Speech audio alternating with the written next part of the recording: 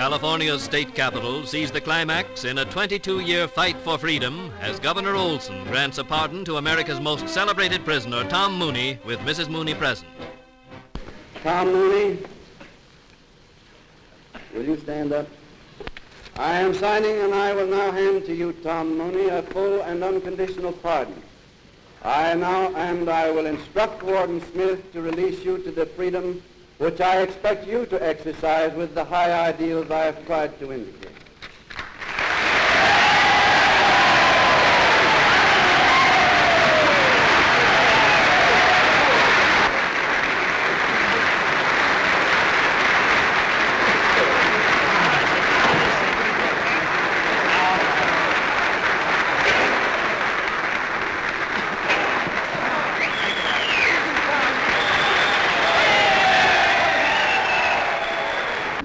Your Excellency,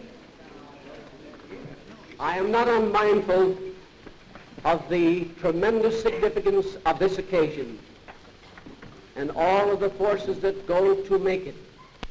To that night, back in 1917, when a jury filed into the courtroom and I observed the foreman of that jury, who later said, Tom Mooney was the calmest man in that room.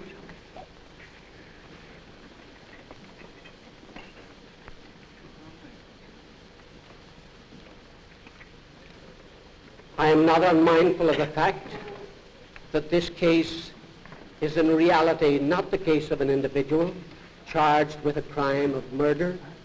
I know that it symbolizes our whole economic, political, and social life and all of the forces that go to make it up.